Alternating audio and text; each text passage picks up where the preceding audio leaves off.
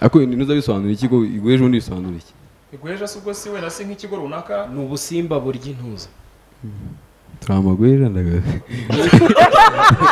batugize amagweja rega umuntu wese watinze gushaka muri karitsiye aba yitwa peti nta gushaka mbere yawe kugira ngo nijye bavuze kugira ngo nijye bavuze muri iriya umuntu wese uvuga ngo buriya papa sava ni peter king james ni peter bose ni ba Peter. ni iki gituma ufana social media twe mu rugo ubundi famiye yose nyine bafana abahanzi babiri twese mu rugo. Avuyemo ngewe nyifana benshi bana benshi. Mu rugo bafana nde nande umva nkubwire ngewe nkimara kumva indirimbo ya kidi ya teta ni bwo namenye ko peter yatinze gushaka. Ntabyo nari nzi ubundi. Nta gushaka mbere ye. Nabonye n'ejo bundi warifotoreje kwa kwanda rwose umeze oya, ari- ariko nabo ni abantu mara ni kwa kuntu nuko naza no ku isibo. nuko naza ku isibo. Ah, iravuga ngo nabonye iriba nabonye iriba yesu ni we riba ry'ubugingo Mm, ese buriya abasilamu iriba ryabo buriya nta riba bagira icyaka cyarabishe?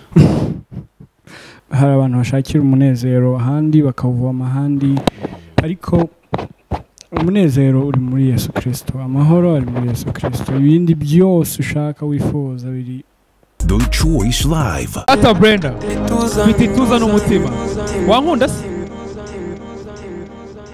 Eh wowe ufite iphone? Eh eh urashaka iphone. Imodoka barya n'iki kindi dore imodoka yanjye ni iyi ngiyi niba n'ingorofani birarutwa n'ingorofani umugome koko imodoka yanjye ni iyi niba uzaza nkaguheka nkayikugendeshaho ngashaka iphone. Ubundi se sha sandra sorry nako teta. kiti nako sandra kiti ntabwo nshaka kuvuga teta nose imisatsi ko yapfutse no mu maso. Dore abakobwa usanga bariho bari- wapi gutya ni byo sawa gusa uri kundeba? Nubwo wajya waba sandra. Iyo nza kuba nariho kiba nameze gutya. Ariko ubundi babu abanyamakuru nabo bagomba gutuza abasitari bakatwereka sitire nshyashya. Kuko izi sitire nizo zigezweho si byo rata Eh, zo mu maso? Mm, zo kureba uhengereza mm. Ni- guhengereza ngize buriya arimo kureba mu Uri gifu kundeba ahubwo ahubwo wowe uri guhengereza oya ngaho ubwo nanjye nti imisatsi nshyireho no ntahengereza Oya, wowe ntabwo wayishobora none none bagiye gutera penaliti no poshi bombe. Umupira yambaye wanditseho penaliti Eh, cyane Urana- uranatwica kidi. kidi. Kidi. Kidi. Eh nabonye akaririmbo ke na social mura ni fresh? Thank you bro. Social mura abantu benshi buriya baba bazi ko atanari no mu rwanda. Mm, nanjye ntabwo nari mbizi. Twavuganye IG ndi kumwapurocinga ntabwo nzi ko ari mu Rwanda. Mm, ntabwo nzi ko ari mu Rwanda ndi kumubwira ko umufana ndamubwira ngo ari mu Rwanda ubwo ngo tuzahure. Yamita nanjye menya ko ari mu Rwanda. Ni iki gituma ufana Mm. Eh, twe mu rugo ubundi famiye yose nyine. Bafana abahanzi babiri twese mu rugo. Nande avuyemo ngewe nyifana benshi bana benshi. Mu rugo bafana nde nande ko ni Melody na na Soshomura. Bose bakunda melody na ubu namwe muri timu b? Yes cyane rwose. Harya b ni ben cyangwa ubwo ni bruce? Ni babu. timu babu turi team king. Muri timu king. Ni sawa cyane first of all urasa neza bro. Ukuntu wambaye none urabona ko usigaye wambara nk'abasitari kabisa ushatse kuvuga iki njye nabonye nabonye video. Ariko yagiye kwishyura kuri kontwari yambaye ikanzu. N'ijipo ngiye birani n'iby'abasitari kanzu ahubwo birarenze reka da ahubwo babu rero wasizwe. Birarenze ariko wamuganisha mu ruhango ni kure kanishare niga uzajya umugabo wambaye ikanzu n'ijipo na high heels. Eh, cyane ndakubwiye ko hahize ari iz'abagore gusa nyikwereke umuganizi nyikwereke wayishyize hariya kuri tv se naho ndayishyira none se i- iya track mwayirikodinze ryari na social mu gihe akiri kwishakira? social? Nayirikodinze nayirikodinze ubundi. Hashize nk'ibyumweru nka bibiri. Nyirikodinze we nawe nayirikodinze hashira nk'iminsi wenda nk'ine. Mpita menya ko ari mu rwanda ndamwandikira nawe araza atamo. Ashyiramo yaje i musanze? Oya i kigali mani mbese usigaye uri i kigali? Wari abani boyiz inzu. Uzi ko kera buriya kwimuka byari ibintu bya abani boyiz Mm, ah, kuva mu ntara uzi i kigali. Ariko n'ubundi nyine igihe kinini kuko mm, today tuba i kigali. Nyine we yabaga i kigali kuva kera. Eh, n'ubundi igihe kinini nabaga ndi i kigali tu. Igihe kinini wabaga uri i kigali. Ubu usigaye hari none furu Eh, Ah, umunyamugisha noneho uraza kuririmba bande baturanyi si ba papusoni wabasize? Abaturanyi se nta nta muntu wo kuririmba uhari ubu ubu nta muntu wari wo kuririmba. Gukoresha sitori za zamani. ariko buriya pita aturanye n'abantu benshi. Umuntu wirirwa kuri social media muturanye ahantu hose umuntu wese watinze gushaka muri karitsiye aba yitwa peti kugira ngo nijye bavuze kugira ngo nijye bavuze muri iriya Iyo mpamvu umuntu wese uvuga ngo buriya papa sava ari King James ni Peter ni ba Peter. bice ryari rirambwira uyu muntu igaho urashakisha amahari akantu kashatse oya nawe rero ugashakisha ariko ikintu ugiye nakubwira bro abaniga nkawe babigerageje benshi benshi bose bagiye bisanga mu bishingwe. Aribo bagiye hasi. Dore bamwe dore bamwe abakozi b'imana basigaye basenga baka- bakabenkurudinga mu masengesho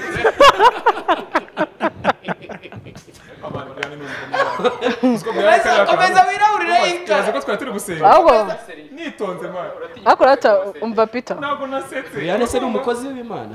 Neze ni umukozi wa sekeye oya abakozi b'imana bavuga nyine bano bashumba bashumba. Na Brian ni umushumba muri iri torero se. oya arishumba mwese hari imodoka yamugonze umuntu wabatijwe umva nkubwire ngewe nkimara kumva indirimbo ya kidi ya teta ni bwo namenye ko pita yatinze gushaka ntabyo nari nzi ubundi ntabwo ushaka mbere ye Eh? ntabwo twashaka mbere ya Peter urumva rero wafunze inzira nyinshi watinze n'imyaka ingahe Iya Umuntu Peter watinze ni yawe kabisa arimo aragereranya ntabwo bikora umuntu wese uzi ko wangana nka Peter ntabwo bikora. Reka ntabwo ubizi ko ndi umufurere. Pita uri bukushe ukuntu yavuze se kidi? Ngo mani ngo ba pita kubera ko aba ari abantu bakuze kandi bafite amafaranga. Ngo bari kudutwara abakobwa bose. Ya ya mushake muve ku ni ugutanga agatego. Wanyeretse iyo iyo ko ndi kuyibura kandi iyo video iriya Maze wambaye nawe uri kwishyura ukunda kuri kuvuga ibintu kontwari udafitiye nta- ntayo ngira ntayo ngira ntayafite Kaze nyishake ntari bigiye ntabwo nayigira Umuntu akunda kuvuga ibintu adafitiye amakuru.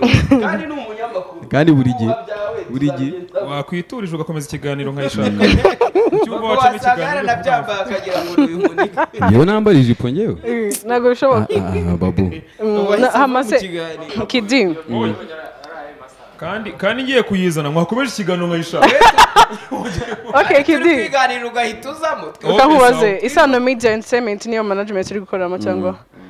Eh, manager- ufite ubu ngubu manager. Mm. manager wawe yitwa Si nde? wabahoranye se ngira ngo Mm, simwatangira narabahoranye eh mwaratangira ahubwo hari udukoryo nabonye mukora two kwa porodinga indirimbo kabiri kuri cano ya kidi kuri oya channel apana apana video ariko? Mm. hamwe hajya audio cyangwa lyrics? Gusa nyine ubu ngubu nyine ngiye kujya nshaka kuyicano yanjye. Apana ku isano media. Ugiye kujya kuri cano yawe gusa. Buriya ziriya se wari warashyize ahandi. Mm? ziriya wari warashyize ahandi. Iza- ziri ku sano media naho twa hari ukuntu twapanze nyine bizajya biragenda ese niba bagukunda Mm. wenda ikosa ry'uko banze kugukorera cano yawe mbere ngo ikomere. Mm. Iryo ngiryo turaryemera. Mm. cyane ko birashoboka ko niba bararindaga management yabo n'amasezerano n'ibyinjira. Mm. bashoboraga kuba bitwa n'ubundi wowe ariko bafite ukuntu aribo bakontrolinga iyo mm. uburyo n'ubundi mugiye gutandukana ibyo bagomba you will still give it to them. Bagukorera agakoryo bakeditinga iriya cano y'isano akaba ariyo ibakite ikibazo hariho? oya hariho n'ibiganiro ibiganiro wabi- wabigira private money cyangwa ukabyimurira ahandi bagakora isano nabo. Mm. Ibyo ndi kubabwira nanjye ngo mbifitemo ni business. Ahubwo Peter ukabuze yidadanye Eh. iyi ni indirimbo ziriho urumva zifite numbers. Kandi ejo nuhamagara umuntu wo muri kenya na tanzania uzamwereka ziriya ikicano najya asanga hariho hariho nduri imbogo. Bari imboga O- oya kuri cano Eh, isa. bazabigira private of course. Mm. Eh, na none numwereka iyawe Yeah, bishyashya bagashyizemo hariya ariko tukakora mwese kidi iyi funny rwanda comedy na yo ni channel yanyu I? iyi funny rwanda. Ko Wapi- imaze kujya tuke views. abantu b'i kigali bo naho si YX dollar. wapi iyo ntabwo ari yacu ni benshi nyine bahita abandi indirimbo yacu bayishyira ku macana yabo ni Nayo ifite gusa hari isano media hakaba n'iyawe abandi bo bajya babishyiraho bari ku kandi aba bafite views kari kabisa agatekerezo kandi ako gatekerezo nigeze kugaha umuvugizi wa guverinoma wungirije arakubahiriza. Cyane cano ye yitwaga remu arinda ariko ko haba hariho ba gisupusupu. Hariho ba wa mwana wagiye muri amerika hariya yitwa karasira. Yewe wayise bose papa. Ikajya ihurizaho abantu benshi. Aragakoresha ubona abonye yarashyizeho na dr. Claude ubu yabaye mpuzabihugu. Mpuzamahanga cyane. Yewe kavido se barakabona. Yego soshomura rero aba araje ararikodinze hari indirimbo yitwa? Message. Mm. Eh, abanyamakuru ariko turi nk'abarimu tubaza ibyo tuzi. Mm. ubwo message waririmbaga muri iyo ndirimbo yari iye sasa. Message naririmbaga niyo kubwira umukobwa. Ariko ntabwo ari idange none utabwira ngo ngo tubwire iki ntabwo ari yanjye mama ide nyine yuko yiyumva mbishyira mu ndirimbo.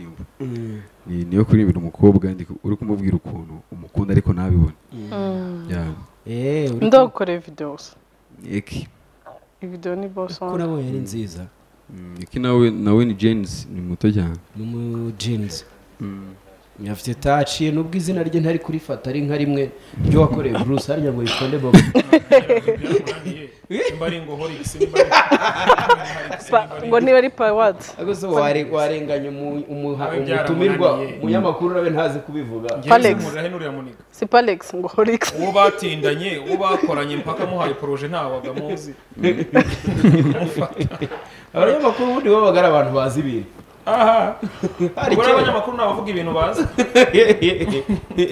yego rati Mm, ngo yitwa gute? Mm, message. Oya umutipe wakoze video. Eki. Eki. Eki. Eki. Eki. Eke and ni y umukobwa si ubwo cyangwa ni umuhungu abantu mu mujamato Eh, ndakwirinda kuza kubivuga nabi ugasambuza wenda ngo zeki. Mm, hari Eki Eki. Shaki zeki ni agaterime kagezeho kavuga ibintu bya fake. Cyane zeki. Ni wazi ni wazi. Product yasohotse ari nziza kabisa. Ah, buriya social murasi we muhanzi munini wa mbere mukoranye. Mm, ni niwe muhanzi munini wa mbere mukoranye. Mm, wambere nandikiye aha. Eh, ni nawe wa mbere wandikiye. Eh ubu famiye rero nk'abantu bamufana bari kukureba bakavuga bati umwana ubu ni wowe uri kuri top. bindi eh, dukoreye Ntabwo. umutekano muri uru rugo. Mm, mm, nyine ku babyeyi kuri abona ko ndashomura bashobora nyine ndabizi ko babikunze no kurusha uko nakora n'umuhanzi wenda uri gutekereza wadanje wadanje wadanje cyane. Ufite ababyeyi bombi? Ya bombi. Na. Mbese n'iki cyatumye wambara nk'abakobwa ya video nawe ndayibonye? Ubu wese ariko byakiriye baraza kuba dushyiramo kariya kavideo ngira ngo niba batanagashyira muri iki kiganiro weditinga kuri social media araza kugashyiraho Mm, byagenze gute? Ya nari nari ndyamye mu buriri. Ndi kumwe na bro nyuma kuri mama uryamye uri kumwe na bro wawe ndi kuzamuka nyine ku ma tiktok wabonye John Cena sinzi niba iyo video yizi video yambaye. Yagiye gutanga wadi oya ap- apana yambaye ubusa. Indi yari yambaye ijipo na na shito. N'ibiki. Ndababwira. Aramubaza angibaza nambaye ibi bintu? Itubwira ko byatwika. Ndabwira agace kaje uzi nkomere namukira. Ambwira ati oya nyine wowe byatwika mani ibiki n'ibiki. Avuga ati wamugani nanjye kanze njye kugatamo. Ndebe ibyo ari byo manza guhamagara ababyeyi nyine babwira ati "Eh, ibi bintu mugiye kubona ku mihanda muhumirize uri kumva nyine ndi batuma umutima wanyu utera cyane. Ambaza ni ibiki? Mama mpita amuhereza ifoto ya John Cena yambaye kuriya nyine. Atabwira ati wa mwana we. Uribeshya ngo muri muri ibyo bintu. Wamaze tumubona hano kuyiposta tumubona hano. Atuhita utaha Mm, namwe rero nanjye mama reka nkubwire. Ndagukunda ngenda kuba. Ariko nanjye nta kundi biragenda Oya, kandi niyo wari uri kwigira inama mu mutima ambwira ati ihangane rero n'ubundi nabirenze urabizi ko ntabwo ndi we n'ubundi abantu bazavuga. Nese babu ko wa muntu yajya kugukubitana uko wambaye ijipo? Wa muntu mwahuye agahita akuniga. Ntabwo yari babu. Urumva yari nawe ntiyari yiyizi. Ariko uzi ko ari akabari ibintu abantu banyweramo. nta nubwo wari ugiye kuri toilette akabari ajya mu musara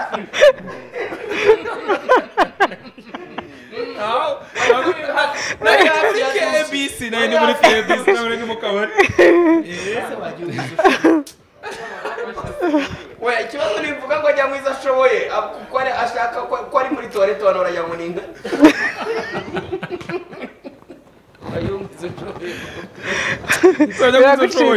Hanyuma aratuguma mu kugenda bitese umubwira ngo ikiwo nyine se mbwira nyine urabizi.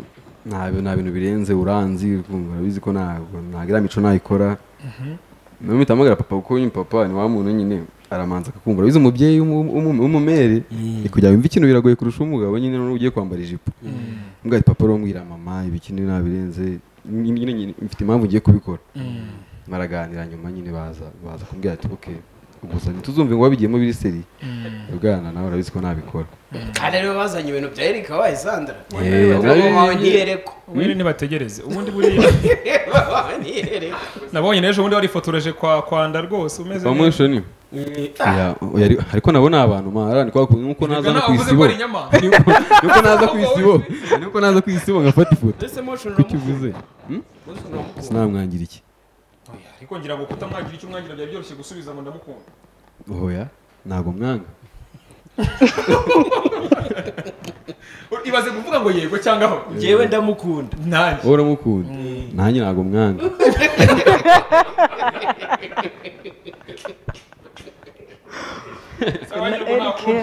kidi afite indirimbo nshyashya Ya, yitwa message ikintu yakoranye wahitubwira na- wenda ko iminota yatujyaye mbere yuko tukureka. Ah, ugira ikintu ubwira abantu kuri track yawe n'aho bajya kwishakira Ah, ubundi noneho tukureke wikomereza ya ikintu nababwira ni kujya kuri youtube ukandikamo kidifit soshomura Mm, kidifit soshomura ukajya kuri sano media urayisangaho umfashe gusharinga. Nutayireba urabuyigweja kumva ubwo umukobwa waraba ari ikizi abakobwa abakobwa bo ntabwo nzi uko babise. Ariko numvishe ibyo baba- ibyo- ibyo- ibyo urumva batuvuzeho umunyarwanda umunyarwandakazi. Nose ni ntayireba nkayipositinga Hmm? ni ntayireba Uri- uraba uri igwe ubwo se wapostinga ikintu utarebye? Yi nshobora gusevinga nkahita ngenda nka positinga ubwo nyine uraba uri igwe ja irabivuyeho kubera ko ntibashobora ariko ntuza bisobanura iki ko igweje undi bisobanura iki? Igweje se ubwo si wenda si nk'ikigo runaka? Ni ubusimba burya intuza. Turi amagweja ndagaze batugize amagweja si iby'amababa bazaga si ubwo tubagabo niba turi abagweja ahubwo ni Ubwo abagabo aba- abakobwa ni iki urumva umunyarwanda Abagabo bo? umunyarwandakazi abagabo nye si wabyemeye kuri ryo hari ubwo ubihakana njyewe nyine ntacyo njye nubwo ntazi icyo bivuga ko numva nanjye ndi none ngewe noneho noneho ngewe uri kumva ngewe ndi igweja bivanze n'ibi n'ibimonyo n'ibicishije byose kuko Um- umugabo niba ari igweja ubwo umukobwa ni iki? Urumva nimba umunyarwanda n'umunyarwandakazi igweja ubwo umukobwa we ni iki? Ufite igisubizo waba ushaka kunyiyenda ndi kumva unabizi. Oya? Njye ndi kukubaza. Bavuze ko ari ni ibyo. igweja ni igweja ry'umukobwa. sawa cyane. Ngira ngo time iba yagiye ariko uh, kid afite indirimbo nshyashya yitwa message yakoranye na social mora iri kuri youtube channel ya isano media. Ariko kandi no ku zindi digital platforms stream- streaming imiziki hose iriho uh, ni message. Kid wakoze reka turebe iyo ndirimbo hanyuma dukomeze. Tugushimire cyane. Turagaruka n'abandi batubirwa mu kanya. Ikoze cyane. Let's go. The Trace Live nizere ko umeze fresh cyane. Iyo ni track ya Kid ari kumwe na Social Mura ndashaka mwese mujya kwishaka mukayireba kuri digital platforms naho iriho mukaba mwayumva. Reka twinjire muri gospel gatoya ko tugenda tugana ku musozo w'ikiganiro twakire umusore witwa Zion Manu eh, muri studio za Isibo TV The Trace Live. Zion umeze bite bro? Yesu nashimwe. Nyagasani yesu nabane nawe nawe kandi muhora nubwo agiye guhita avuga ngo imitima niho gukira ibyishimo ariko ibintu bya zayoni ngo bijyana na babiloni you know. Zayo bivuga iki? Mm. Mm. uwo musozi wa zayoni wabereyeho ikiza Mm. ibihambaye byabereyeho gusa umusozi ushikamye umusozi ni naho abantu batoragaho mano ese ubundi hari umusozi unyeganyezwa? Hari umusozi unyeganyezwa ubaho? Buriya hari imisozi buriya hari. Wasanga wenda mu kigali inyeganyega da? Hari umusozi? Oya buriya hari imisozi nyine haba n'udusozi. Ya ya harya manu zari iki? Manu? Ni ibiryo byo mu ijoro manu zaje mu butayu bw'abanyisirayeli bavuga muri egiputa bagenda so ubwo ni ukuvuga izina ryawe n'umusozi tuzuririraho tujya gutoragura ibiryo byo mu ijoro oya ibiryo byo mu ijoro se ndabivuze. Ese sinabonye witwa zion manu? Eh ni manu. Ntabwo ari manu? Ntabwo ari manu ni manu. Ni manu. Yego. Riva kuri manuel. Oya? I- ni manu reka tube tu- tubyigizeho ariko hari n'abandi bantu bitwa ba manuda Ariko baba bitwa ba Manuela. ko hariho icyambu tuzamenya yaba ukora gospel. Yego. ah, ufite track zingahe kugeza ubu kuri ubu mfite track zibiri hari albumu natangiye gushyira hanze. Uh, mperutse kurikodinga and one of the songs ni nabonye iriba niyo nahereyeho Eh, nabonye nabonye iriba. Nabonye iriba. Mm. okay aho ni fresh. Message gwirimo muri iyo ndirimbo ni ihe message ni uh, iri muri bridge. Nuko yesu ari we riba ry'ubugingo. Uh, iravuga ngo nabonye iriba nabonye iriba yesu niwe riba ry'ubugingo. Ese buriya abasiramu iriba ryabo bo buriya nta riba bagira icyaka cyarabishe? Bariya rero sinzi icyo nabavugaho cyane. Uh, gusa yesu ni we riba ry'ubugingo Yeah. sinzi uburyo ki sinzi uburyo Sinzi- aho bavoma. Ariko njye hari aho mvoma yesu. Okay. indirimbo zawe zos- zose zikodinze ku buryo bwa live? Izo ndi gushyira hanze? Yes ni live recording. Iyi yes. album yitwa? Nabonye iriba. Eh na album na yo yitwa nabonye. Iriba. yego. Ah, umuziki uwukorera inaha mu rwanda cyangwa ko ndumva ari ubwa mbere ngewe nkubonye? Yego. Ah, ntabwo ari aha Mhm, ariko n'ubundi iyo turi kodinze bitunganyirizwa ino akenshi. Mhm. no mu rwanda si aha ntuye. Uba hehe ubundi? Tuye muri leta zunze ubumwe za amerika. Mm. wogosha Eh, ya ino hari hari abogosha neza. Arabogosha beza. Kandi badahenze nk'abahariya Eh, nti ntibameze nk'abiriya ariko nino bara bakora neza. Bakora neza cyane. Mm. fresh sinzi niba hari ikintu wabwira abantu badukurikiye rero kuri career yawe ku bihangano byawe icyo wabasaba then tukakureka imwe mu ndirimbo zawe dore ko n'iminota yatujyanye yego uh, social media zanje ni zion manu. Um, zion manu. Gutyo gusa zion Mhm, manu. Mhm, kuri youtube ni uko kuri instagram ni uko uh, icyo nababwira buri ushatse kuvuga Uh, if you wanna Your give them a project. message Oh, yes. cyangwa the message the message nta yindi iri mu ndirimbo. Mhm, no ni ukubwira abantu ko yesu ari we riba ry'ubugingo mhm, buriya hari abantu bashakira umunezero ahandi bakawuvoma ahandi ariko umunezero uri muri yesu kirisito amahoro ari muri yesu kirisito ibindi byose ushaka wifuza biri ubivoma aho ngaho. Yeah. That's the message. Youtube channel yitwa gute? Zion manu. Zion man yes. Alright, so reka tumushimire rero Zion Manu yakoze cyane. Uh, tubereke track ye yitwa nabonye iriba ari na yo yitiriye album arimo gukora. Uh, azagenda atwereka indirimbo ziriho iyi album. Uh, aba ari naho dusoreza ikiganiro Mm, byaba ari sawa cyane. Yeah, dushimire abantu bose kabisa batubaye hafi since we started.